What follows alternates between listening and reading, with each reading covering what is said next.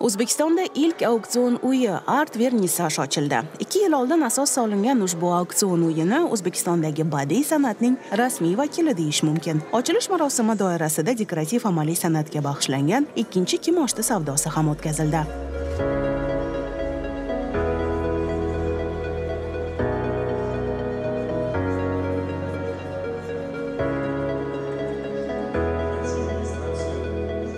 Kimoshdi savdosida o'ttiz sakkizta lot namoyish etildi barcha lotlarda ko'p asrlik tarix va o'zbek xalqining buyukligini ko'rsatuvchi ijodkorlarning mahorati aks etilgan. Obyektlarga so'zani numizmatika va mis idishlar kiradi. Ular tarixiy merosga ega bo'lib taxminan yuz yil avval o'zbek hunarmandlari tomonidan yaratilgan. Auksion uylari butun dunyoda mavjud shunday mashhur uylardan biri kristis uyidir aynan mana shu jahonga mashhur san'at makonining vakillari kimoshdi savdosining tashkil etilishiga baho berish uchun toshkentga tashrif buyurishdi Следующий год Халат мужской.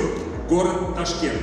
Итак, вот такой вот экземпляр, лот номер два. Стартовая цена этого халата уже 19 миллионов сом. Поехали. Вот такой вот красивый халат. 19 миллионов сом. Итак, 29 миллионов.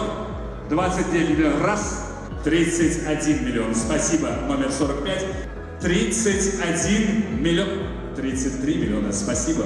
Номер 7. 33 миллиона. Спасибо огромное. 33 миллиона. Продано. Спасибо большое, участник э, номер 45. Спасибо большое всем за участие. Мы продолжаем далее. Eng asosiy bizani maqsadimiz biz o'zbekiston yangi o'zbekistonni kolleksionerlar san'at asarlarini kolleksionerlar sinfini yaratish. Eng bizaga g'urur bilan aytishim mumkin bizani auksionimizga ilk bor o'zbekistonga kristis mashhur e, san'at asarlari bilan shug'ullan e, o'sha sotish bilan shug'ullanadigan kristis auksionidan vakillar tashrif buyurgan.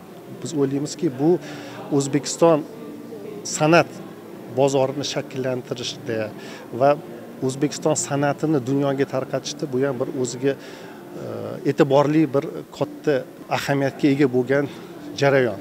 Chunki qanchalik bizani o'zimizni dunyoga tanishtirsak qanchalik biza o'zimizni san'at asarlarimizni dunyo durdonasiga aylantirsak shunchalik bizani o'zimizni milliy san'atimizni qo'llab quvvatlashga o'zini xizmat ko'rsatadi deb o'ylayman.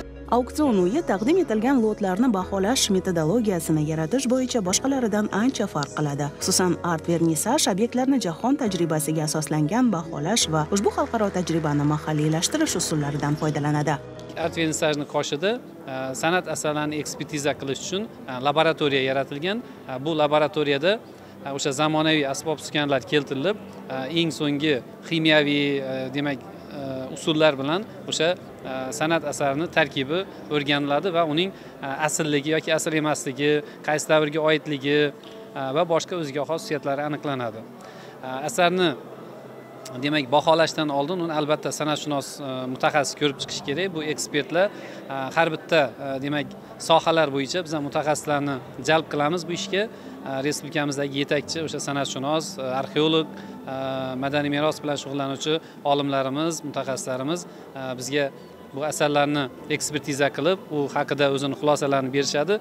Mana shu xulosalar asosida demak baholanish uchun maxsus mezonlar ishlab chiqqanmiz. O'sha mezonlar asosida o'zini hisob kitob qonun qoidalari bor. Shu asosda demak matematik modellar asosida o'sha auksionga qo'yilayotgan eksponat buyum baholanadi. Если приобрести такой предмет, э, agar siz dekorativ amaliy san'at obyektini xarid qilsangiz avtomatik tarzda o'zbek xalqi tarixining bir qismiga aylanasiz. Chunki bugungi taqdim etilayotgan narsalar allaqachon yo'qolib borayotgan obyektlardir. Misol uchun an'anaviy kashtachilik hozirda deyarli rivojlanmayapti. Ammo kashtachilikning ayrim turlari 2000 yildan keyin qayta tiklangan lekin afsuski ular zamonaviy bozor talablariga moslashtirilgan mazkur auksion uyi o'zbekistondagi moshti savdosi madaniyatining rivojlanish muqaddimasi bo'lib mamlakat madaniy merosini asrab avaylashga xizmat qiladi.